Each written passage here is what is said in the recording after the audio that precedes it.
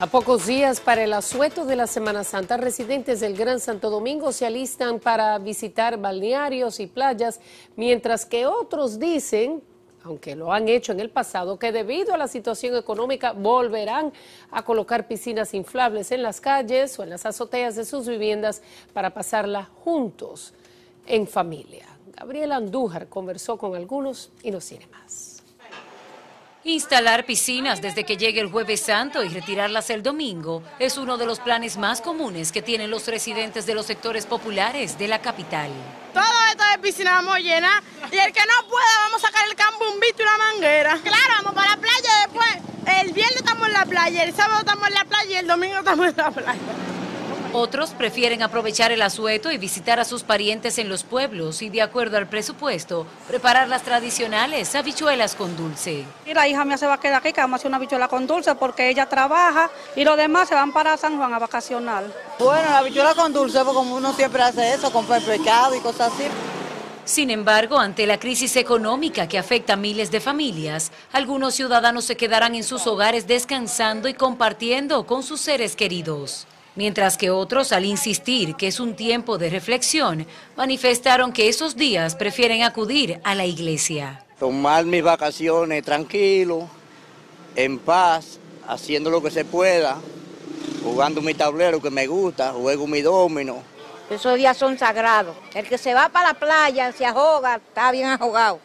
Porque que buscan esos días y saben que ese día es, es santo. Con el fin de prevenir y atender cualquier eventualidad que tengan los ciudadanos durante esta Semana Santa, el Centro de Operaciones de Emergencias contará con más de 48 mil brigadistas en el operativo Conciencia por la Vida Semana Santa 2022, desde el jueves 14 hasta el domingo 17 de abril. Gabriel Andújar, Noticias, SIN. Bueno, una tradición en Semana Santa, más de 20 mil combos con los ingredientes de las habichuelas con dulce estarán disponibles en las bodegas móviles del Inespre con un costo de 350 pesos, así lo informó la institución. Esos combos contienen un paquete de habichuelas rojas de 800 gramos, leche evaporada, leche de coco, canela y clavo dulce y dos libras de azúcar. También estos productos es un paquete de galleta y vainilla. En los mercados eh, de productores, 70 mercados van a tener esto, las bodegas móviles 150 y en 250 supermercados que venden cada semana alimentos al precio de Inespre. Banco Popular, a tu lado siempre. Presenta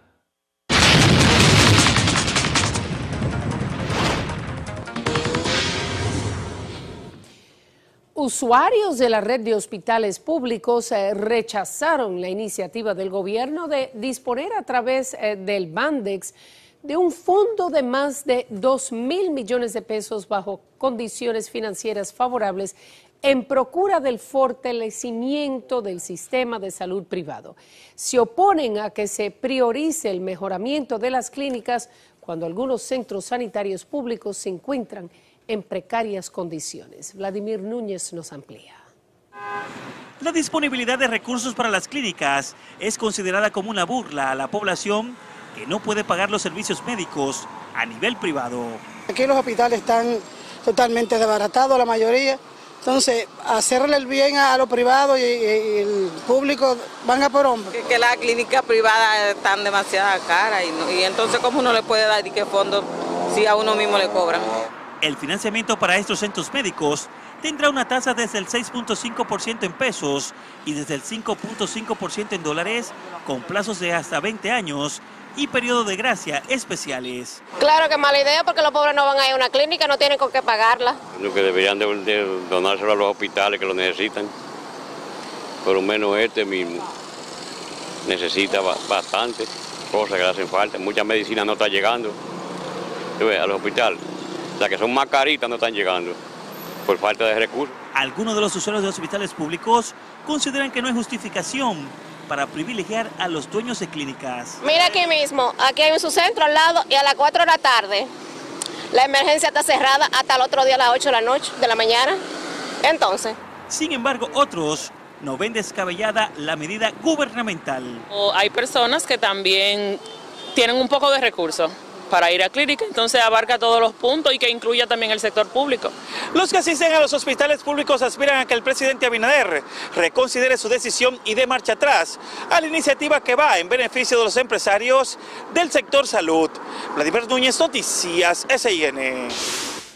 En la presencia del presidente Abinader fue inaugurada la remodelación del atrio central de la terminal de pasajeros del Aeropuerto Internacional de las Américas, realizada por la compañía Vinci Airports con una inversión de 14 millones de euros. El proyecto incluye un área comercial, así como la diversificación de la oferta gastronómica para los viajeros. Juntos la inauguración de esta obra de remodelación del Aeropuerto Internacional de las Américas es un gran placer regresar a República Dominicana para entregar esta nueva obra. Que se transformó en un área mucho más amplia, con cinco puestos de, chequeo de seguridad y 18 counters de control de pasaportes por migración, así como las oficinas de las entidades que hacen vida en este aeropuerto. Hemos incorporado siete nueve restaurantes en este precioso atrio central, los que combinan marcas internacionales reconocidas y novedosas con conceptos muy conocidos y queridos por los dominicanos. Informaron que adicionalmente se han reubicado y modernizado los servicios de seguridad de inmigración saliente para mejorar los procesos y la experiencia de los pasajeros. Productores de cebolla en Asua comenzaron la siembra de más de 6.000 tareas de ese bulbo con una inversión de 200 millones de pesos. Según nuestro corresponsal Héctor Abreu, los productores informaron que la siembra aporta más de 240 mil empleos de manera directa. Le informamos que Asua tiene sembrada y para muestra, mire un botón ahí, alrededor de 6.500 tareas de cebolla con una producción estimada de alrededor de 220 mil quintales de cebolla que están dispuestas al consumo nacional a partir de la segunda semana de agosto. En la aplicación de los pesticidas, las fertilizaciones son muy altas, en la mano de obra muy alta, por tarea en el caso de la cebolla, que eso conlleva una inversión alta en el cultivo y va en deprimento a los productores. Además, los productores indicaron que esta producción garantiza el abastecimiento del producto por tres meses. La Superintendencia de Electricidad anunció un nuevo aumento de la tarifa eléctrica a partir de este mes. Ya es el tercer aumento de la tarifa se realiza desde el pasado mes de noviembre y es otro golpe más en esta difícil coyuntura de inflación que está enfrentando el país. Vamos a ver qué dice nuestro economista Magín Díaz sobre este tema. Buenas noches. ¿A qué se debe este nuevo aumento en la tarifa eléctrica que viene a sumarse, como dije anteriormente, a los precios eh, de los combustibles y también de los alimentos? Buenas noches. Eh, mira, este aumento o esta modificación de la tarifa no es una sorpresa, ya es la tercera que se realiza desde noviembre y en realidad esto fue lo acordado en el pacto eléctrico, que durante un periodo de cuatro o cinco años la tarifa se va a mover trimestralmente, es decir, que a fines de este trimestre pues habrá eh, otro aumento en la tarifa eléctrica, de acuerdo al cronograma acordado en el pacto eléctrico. Y esto se hace por dos razones. Porque la tarifa se está moviendo en parte con los precios de los combustibles a nivel internacional, que están subiendo, y también para corregir una distorsión histórica que es el llamado subsidio cruzado, en el que unos consumidores pagan una tarifa mucho mayor que otros. El, el, problema es que esto ha coincidido, ese acuerdo en el pacto eléctrico, con un periodo de, de aumento sin precedente de los combustibles de generación en el mercado internacional, entonces se viene a adicionar a todo el problema que tenemos con los combustibles, con los alimentos, al problema de la inflación que estamos viviendo aquí y en el mundo entero. Pero en realidad esto es algo que, se había negociado y acordado en el pacto eléctrico. Imagínate cuánto estamos hablando, o sea, en la práctica, ¿qué representa para nuestro bolsillo este aumento? Ya estamos hablando de aumentos considerables que se han acumulado desde el, primer aumento que se hizo en el mes de noviembre hasta este último que se anunció em, hace unos días. Eh, y esos aumentos dependen del rango de, consumo que usted tenga de electricidad, pueden ir entre un 20 y un 28%, es decir, alguien que estaba pagando mil pesos eh, hace unos meses, pues ahora estará pagando 1.300, 1.400 pesos. Si usted estaba pagando hace unos meses unos 6 mil pesos de luz eh, y sigue consumiendo lo mismo, pues su, su, factura eléctrica le debe estar llegando de unos 7.400, 7.500 pesos. Eh, y, y, uno de los problemas que se está viendo, eh, que complica la situación, es que el aumento de la tarifa eléctrica es mayor para los consumidores de menor rango, es decir, para las personas más pobres. Y eso es complejo. Eh, el gobierno ha tenido muy mala suerte porque le ha tocado aplicar el pacto eléctrico en una coyuntura de aumento desproporcionado de los precios de los combustibles de generación a nivel internacional y yo creo que esa es la gran disyuntiva que va a enfrentar de cara al resto del año.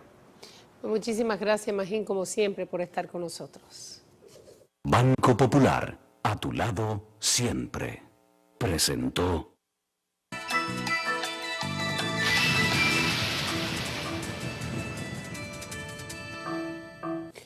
Para ese viernes se prevén aguaceros dispersos debido a la incidencia de una vaguada en el territorio nacional, así lo informó la ONAMED. Las temperaturas seguirán calurosas, aumentando durante el día y agradables en la noche y la madrugada, especialmente en las zonas montañosas. La pregunta de Twitter esta noche dice así, ¿cree usted que la formalización del trabajo doméstico en la práctica resultará beneficiosa para esas servidoras? Vamos a ver qué dice la gente. Sol Montero Lara dice, sí, por supuesto, ellas se merecen el mismo trato que cualquier otro empleo y con la formalización de ese trabajo sería beneficioso para ellas. Son mujeres fajadoras que mientras uno trabaja, ellas se encargan de que todo esté bien en nuestro hogar y se merecen eso y más. José Giovanni Cepeda dice, no creo que la mayoría de esas trabajadoras no les conviene esta idea. Muchas de estas personas reciben tal vez muchos más beneficios de esas familias que saben reconocer la labor que ellas hacen. Creo que a la larga no les conviene para nada. El doctor Elías Portorreal no creo que los patrones de las domésticas cumplan con los beneficios otorgados por las autoridades. Luis Ramón García, buenas noches Alicia. Yo opino que esto dejará muchas trabajadoras domésticas sin trabajo. Hay muchas familias que no podrán pagar más de lo establecido. Y finalizamos con Julie Santana. Pienso que será beneficioso. Tienen todo el derecho de recibir su compensación. La época de esclava Isaura quedó atrás. Eh, vamos a ver qué pasa con, con este proyecto que se ha sometido. Al regreso, delincuentes.